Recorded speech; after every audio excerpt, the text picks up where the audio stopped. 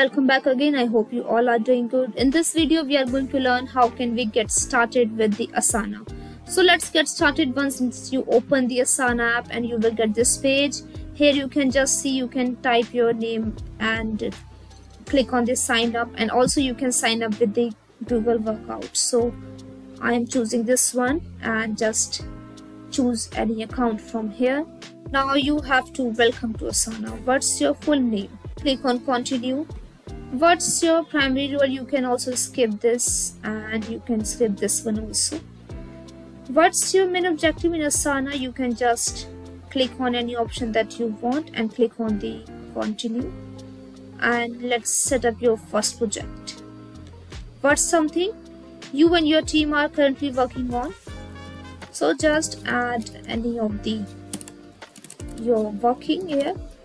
Click on continue we are a few tasks that you have to do for planning. So click on continue here. How would you group these tasks into sections or stages? Click on continue add more details to your project. You can add more details to your project and click on continue. And you can just layout. You can choose a layout and continue.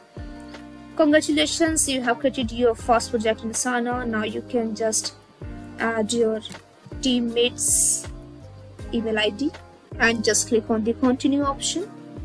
You can skip it for now. And you can see you are here with the asana app and you can just use this app according to your preference. So that's it for this video guys. I hope it was great help to you. Thanks for watching this and i will see you in the next video